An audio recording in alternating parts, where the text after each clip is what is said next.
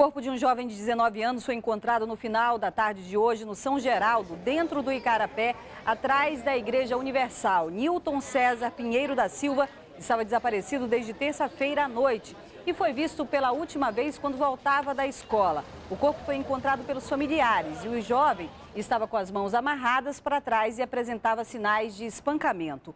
O IBGE divulgou hoje os dados da produção industrial brasileira de março. 14 estados do Brasil registraram queda de 5%, 0,5% na produção. Já o Amazonas teve uma alta de 6,5%. Já em fevereiro, teve uma queda de 8%.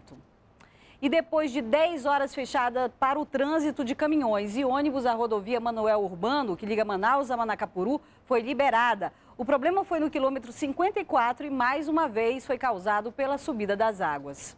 Quem chegava ao quilômetro 54 da rodovia Manuel Urbano tinha uma surpresa nada agradável.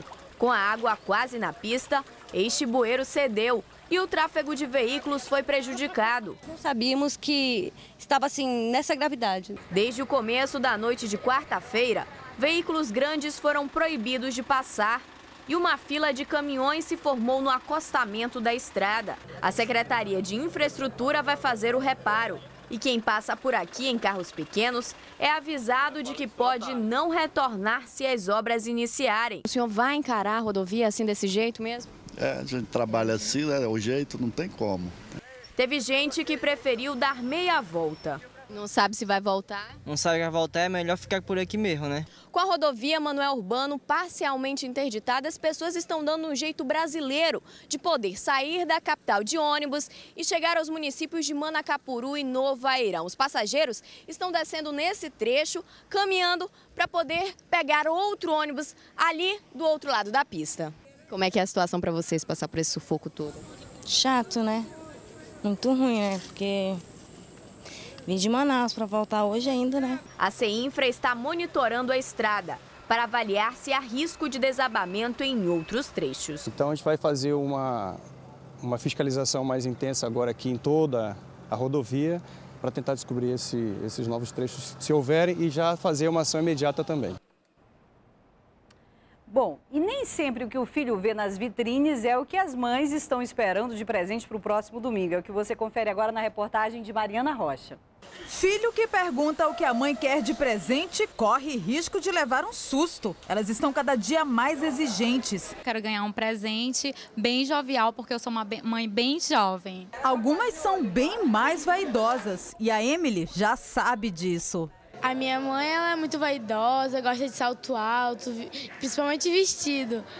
Isso é é, gosta de roupa, sapato. A mãe não assume, ainda tem aquele velho discurso de que não precisa. Que ela seja sempre essa criança que ela é hoje, sempre educada, obediente. Não tem melhor presente para a mãe do que isso, né? Uma pesquisa revelou que as mães preferem roupas, mas tem quem queira materiais de construção, por exemplo. As flores, que sempre foram presentes tradicionais e carinhosos, já não são mais tão desejadas. Aqui nesta floricultura, os filhos até procuram flores para presentear no Dia das Mães, mas não mais os tradicionais buquês que duram em média uma semana. O que mais se procura por aqui são as flores plantadas, como as orquídeas, que duram bem mais tempo. E como a temperatura daqui de Manaus é tão quente, e está sendo procurado muito grande. Azaleias, orquídeas, bromélias, antúrios são plantados, né? E quem vai dar mais do que um abraço e um beijo pretende gastar em média 125 reais.